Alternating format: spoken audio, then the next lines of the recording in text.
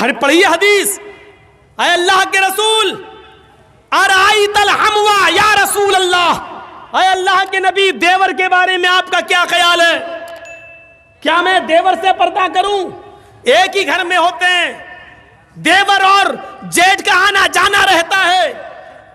हमारे अपने रिश्तेदारों का आना जाना रहता है आय अल्लाह के नबी, क्या मैं देवर से भी पर्दा करूँ? अल्लाह के नबी का जवाब ये था हाँ दूसरों से पर्दे में कुछ कमी हो जाए तो चलेगा। दूसरों से पर्दे में कोई कमी हो जाए तो चलेगी, लेकिन देवर से पर्दे में कमी नहीं होनी चाहिए। अलहमुल मौत। देवर तो भाभी के लिए मौत है। देवर तो भाभी के लिए मौत है। जिस देवर से सबसे ज़्यादा पर्दा है आज हमारी औरतें, हमारी माँ बहनें देवर से ही सबसे ज़्यादा खुली होती हैं। जो मज़ाक शौहर से भी नहीं करती, वो देवर से कर लेती हैं। और एक हम हैं। भाभी को घर पहुँचा दो। अपने छोटे भाई को कह रहे हैं, भाभी को घर पहुँचा दो। और ऐसे ही ससुराल में हमारा हाल है। ससुर कह रहा है, बेटा, अपनी साली को जरा स्कूल छोड़े आओ। मामले दोनों तरफ़ से गड़बड़ हैं। हमने अपने भाई पर इतना भरोसा कर लिया। सऊदी अरब का वाक्य सुने हो ना, जद्दा वाला? एक औरत बिचारी दर्द से कराह रही थी, दर्द से, और जद्दा के टैक्सी ड्राइवर बेचारा उसको कोई कस्टमर नहीं मिला तो वो रुमाल मुँह पे डाल के लेटा हुआ था, जल्दी से औरत आई उसके पास, देखिए मुझे दर्द जे हो रहा है, बच्चे की पैदाइश की तकलीफ़, ज़रा कोई करीब के हॉस्पिटल में लेके चलो, मुझे जल्दी से इलाज के लिए जाना ड्राइवर ने देखा टैक्सी ड्राइवर ने, उसने कहा, भाई औरत परेशान है, पेट बड़ा, उसने जल्दी से टैक्सी खोली और बहन, बैठो, उसने जल्दी से बिठाया और चल दिया, जद्दा के हॉस्पिटल में लेके पहुँचा, और उसमें एंट्री होती है, तुम लेके आए हो। हाँ लिख दिया। अब ये बैठा है कि जल्दी से वो चेकअप करा के आए, तब हमें पैसा दे। जितना हुआ मेरे रियाल, उधर पता चला, साहब उसको एडमिट कर लिया गया है। अभी वो दो तीन दिन रहेगी, आप उसके साथ आए हैं। इसने कहा, जी। कहा, ठीक है, उसको एडमिट कर लिया गया है। और उसने सोचा कि चलो, अब हम चलें। एक दो दिन के बाद आऊँगा। देख लूँगा, अगर बच्चा अच्छा पैदा अभी इतनी जल्दी छुट्टी थोड़ी हो जाएगी डिलीवरी का मामला है। जब गुजरूँगा, तब ले लूँगा पैसा, ऐसा वो चला गया। ये घर में जैसे ही लेटा ईशा के बाद सोया। फजर की नमाज़ जमात के साथ पढ़ने जाता था और फजर के बाद टैक्सी चलाता था। फजर की नमाज़ पढ़ के जैसे ही घर आया, इसकी बीबी ब्रेड और आमलेट बना के लाई। टेलीफोन की घंटी बजने लगी इसके घर पर। क्योंकि जब रजिस्टर पे जब इसने औरत को छोड़ा तो अपने घर का मोबाइल, फ़ोन और नंबर सब लिख दिया था। फ़ोन ए, फला बोल रहे हो? जी, भोपाल के रहने वाले थे ये लोग। टैक्सी चलाते थे 20 साल से सऊदी अरब में, जद्दा में। अच्छा तुम या अपने घर पे आराम कर रहे हो? का क्या हुआ? अरे, कल तुम अपनी बीवी को हॉस्पिटल में छोड़ के गए हो ना? बच्चा हुआ है, लड़का। आओ और अपनी बीवी को लेके जाओ यहाँ से। कहता है डॉक्टर, दिमाग तुम्हारा ठीक है? बीवी? अच्छा हुआ, ये फ़ोन मैंने उठाया। कहीं मेरी बीवी ने उठाया हुआ होता तो कयामत आज ही आ गई होती। कहा आ रहे हो या मैं पुलिस भेजू तुम्हारे घर? जिस औरत को यहाँ एडमिट कराने आए हो उसने कहा वही मेरा शोहर था जो यहाँ छोड़ के गया है। मैं आ रहा हूँ तेरा सत्यानाश जाए चुड़ैल डाइन। उसने टैक्सी चलाई और धर से चलाता हुआ चला गया। कहने लगा ए क्या बदतमीजी है? उसने कहा तुम मुझे छोड़ के चले गए तुम्हें शर्म नहीं आई मैं कितनी परेशान रोना शुरू कर दिया। औरत के आंसुओं में भी बड़ी ताकत होती है। वो कहने लगा ए, ए ये क्या बदतमीजी है? डॉक्टर साहब ये मेरी बीवी नहीं है। डॉक्टर साहब, नोक झोंक तो सब घरों में हो जाती है, थोड़ी सी लड़ाई हो गई, हमें यहाँ छोड़ के चला गया। नहीं, मैं ये बेटा मे अरे, मेरा मेरा नहीं है। चलो, अपने घर के झगड़े अपने घर में ख़त्म करो। चलो। उसने कहा, ऐसा है, चेकअप कर लो। चेकअप। कहा, डीएनए टेस्ट करे ये। लड़का आदमी तैयार? कहने लगा, ठीक है, मैं डीएनए टेस्ट करूँगा। मामला इतना बढ़ गया कि डीएनए टेस्ट की नौबत आ गई। जब इसका ब्लड निकाला जाने लगा और लड़के का ब्लड, तब औरत क्या कहती है, डॉक्टर साहब, डीएनए टेस्ट कर लीजिए, लेकिन मशीन कभी कभी गलत रिपोर्ट भी दे देती है। अभी आदमी चिल्लाते हुए कहता, चुप! गलत रिपोर्ट दे देती है। अभी पता चलता है, दो घंटे के बाद, तीन घंटे बाद जब रिपोर्ट आएगी, या दो दिन, तीन दिन के बाद, तब पता चलेगा। डॉक्टर साहब, इसको यहीं रखिए, दो दिन के बाद रिपोर्ट आएगी, मैं यहाँ दो दिन के बाद गया, डॉक्टर साहब क्या आया? डॉक्टर साहब ने कहा, बिल्कुल गलत, ये तुम्हारा बेटा है ही नहीं। जाओ। वो औरत पैर पे गिर गई। डॉक्टर साहब, मैंने कहा था ना कि मशीन की रिपोर्ट कभी कभी गलत आ सकती है। आई, अल्लाह की कसम, यही मेरा पति है, यही मेरा हस्बैंड है, यही मेरा आदमी है। डॉक्टर कहता है औरत, नकले मत दिखा, चाट। ये तो कभी, ये तो इसका बेटा है ही नहीं। साफ़ साफ़ रिपोर्ट में आ गया, ये बेटा किसी और का है, इसका नहीं है। वो कहने खूब रोई। डॉक्टर कहता, मेरी बहन, मैं तुम्हें कैसे बताऊँ? इस आदमी की रिपोर्ट इतनी डेंजर है। इस आदमी की रिपोर्ट में तो ये आया है कि ये ज़िंदगी में कभी बाप बन ही नहीं सकता।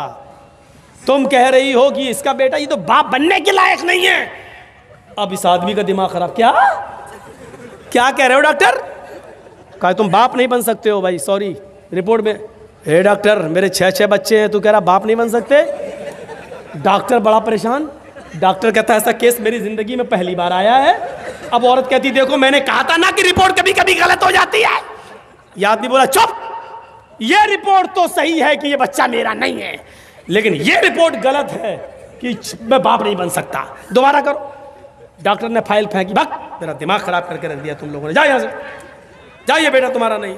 है जा, पता लगा। अब फ़ाइल उठाई और टैक्सी में रखा और चलने लगा। बाप नहीं बन सकता। हूँ बड़बड़ाता हुआ जा रहा है। फिर सोचता है, जमील साहब, अगर ये रिपोर्ट सही है तो पता लगाओ, ये खेत कौन जोत रहा है? ये बच्चे हैं किसके? सीधे घर में घुसा, टैक्सी लेके आया, मारी दरवाजे पे लात, बीवी कहती, इतने गुस्से में? दरवाज़ा खोला, उठाई चप्पल अपने पैर की पंद्रह बीस पहले मार दी। तुम तो रोज इज़्ज़त करते थे, आज क्या हो गया तुम्हें? कस्टमर नहीं मिले, पैसेंजर नहीं मिले तो उसका गुस्सा मेरे ऊपर क्यों उतार रहे हो? कस्टमर का गुस्सा नहीं उतार रहा हूँ। पहले ये बता कि ये छह बच्चे किसके हैं? औरत कहती है, आपको क्या हो गया? पूरी ज़िंदगी अमानतदारी के साथ में चली, आपके साथ और आपने कभी हाथ नहीं उठाया, और आज के तो बच्चे किसके? फिर बता रही कि नहीं बता रही? तेरा झूठ छुप नहीं सकता। पता चल चुका है मुझे। ये मेरी रिपोर्ट कहती है कि मैं बाप नहीं बन सकता। ये बता कि बच्चे किसके तो मारो नहीं, मैं बता रही हूँ। कहा क्या? कहा गुस्सा ठंडा करो पहले। कहा वो तो हो ही जाएगा, पहले बता। कहा कि आप, का भाई भी रहता है ना यहाँ? आप रात में टैक्सी चलाते हैं, दिन में वो रात में चलाता है। मतलब आप जब दिन में टैक्सी चलाते हैं तो वो रात में टैक्सी चलाकर घर में आ जाता है, फिर वो दिन भर घर में रहता है और जब आप रात में घर पे आते हैं सोने के लिए तो वो रात में टैक्सी चलाने के लिए चला जाता है। आपकी ड्यूटी दिन की है, उसकी रात की है। मेरे शोहर गुस्सा मत होइए, ये बच्चे उसी के हैं, क्योंकि मुझे उम्मीद थी कि तुम बाप नहीं बन पाओगे। कहा कि अभी यहाँ तेरा क्या, यहाँ तो सीधे गर्दन कटेगी तेरी। कत्ल, उसने उसी वक्त टिकट बनवाए और वापस भोपाल में आया और अपनी बीवी को तलाक दिया। और इद्दत गुजारने के बाद कहा, छोटे भाई से, जब छोटे भाई ने ही मेरे पेट में छुरी भोंक दी और जब बच्चे ही तुम्हारे हैं तो बेहतर यह है कि तुम ही इस औरत को अपने निकाह में रखो, मैंने इसको तलाक दे दी है। बड़े भाई की बीवी को कौन संभाल रहा था? छोटा भाई, देवर। अब ईमानदारी के साथ बताओ, ये हदीस कैसी लग रही है? अर आई तलहम व या रसूल अल्लाह के रसूल, क्या देवर से भी पर्दा करूँ? अल्लाह के नबी ने कहा हमवुल मौत, देवर तो मौत है भाभी के लिए। औरों से थोड़ी बहुत पर्दे में कमी हो जाए तो चलेगी, लेकिन देवर तो हर वक्त वहीं रहता, आना जाना, देवर भाभी के लिए मौत है। बंगाल वालों, सुन लो। ये चंद मदरसे जो चल रहे हैं आज इनकी बरकत है कि औरतें कुछ बंगाल की सरजमीन पर नकाब और बुरका और के पर्दे के साथ दिखाई देती हैं। वरना मैं 20 साल पहले जब आया था तो बुरका नाम की चीज़ दूर दूर तक नज़र नहीं आती थी। 20 साल पहले जब आता था, एक साथ मर्द और औरतें तालाब में नहाते थे। गुसल खाने ऐसे बने हुए नहीं थे, मौलाना जर्जिस को भी तालाब में नहाना पड़ता था। वो दिन हमने भी देखे हैं बंगाल की सरजमीन पर और कलियाचक के इलाके में कमौली साहब गुसल खाना बाथरूम नहीं बना चले, कहाँ ना हम लोग तो तालाब में नहाते हैं, हम लोग भी नहा रहे हैं। हमारे लिए इतना होता था कि उस कोने पे तुम नहा लो, इस कोने पे औरतें नहा रही ये चंद मदरसों की बरकतें हैं। आज जो थोड़ा बहुत पर्दा दिखाई दे रहा है, लेकिन मज़ीद अभी पर्दे की ज़रूरत है। मज़ीद पर्दे की ज़रूरत है। कल से फिंगरप्रिंट मशीन बना सकती है साइंटिस्ट लोग। तो क्या अल्लाह के पास ऐसा कोई आला नहीं है? उंगलियों के पोर कह रहा, हड्डियाँ तो छोड़ो, उंगलियों के पोर तक बनाने पर हम कादिर हैं। बल युरीदुल इंसान मामा, इंसान तो ये चाहता है कि वो आगे भी बुराइयाँ करता रहे, गंदे काम, बुरे काम, गुनाहों के काम करता रहे। यौमुल कयामा। वो पूछता फिरता कयामत कब आएगी? मज़ाक में कहता है ए, मौलाना साहब, कयामत कब आएगी? शराबी जुआरी लोग मौलाना, कयामत पे बोल रहे हैं, कयामत कब आएगी? मज़ाक में यस अलयान यौमुल कयामा। वो सवाल करता मज़ाक में कि कयामत कब आएगी? फैजा बरिकल बसरु व खजफल कमरु व जुमिया शम्सु वल कमर। जब आँखें चुंधिया जाएँगी खसफल कमर, चाँद बेनूर हो जाएगा। वह जुमिया शमसु अल कमर और चाँद, सूरज दोनों मिला दिए जाएँगे, जमा कर दिए जाएँगे। उस दिन इंसान इस हालत को देखेगा तो कहेगा यकूल इंसान मफर। आज हम कहाँ भागे? आज भागने की जगह कहाँ है? आज मैं कहाँ छिपूँ? आज मैं अपना चेहरा कहाँ छिपाऊँ? कल्ला ला वजर नहीं, भागने की कोई जगह नहीं है। आज तू भागना भी चाहेगा तो भाग नहीं पाएगा। मेरे भाइयों, अल्लाह ने बता दिया, हिंदू धर्म के अंदर भी ये मरने के बाद तुम्हें एक दूसरा जन्म होगा। इस्लाम भी यही कहता है कि मरने के बाद एक दूसरा जन्म, एक दूसरी, एक तुम्हें कब्रों से ऐसे उठाया जाएगा इंसान की शक्ल में। भागने का कोई रास्ता नहीं है।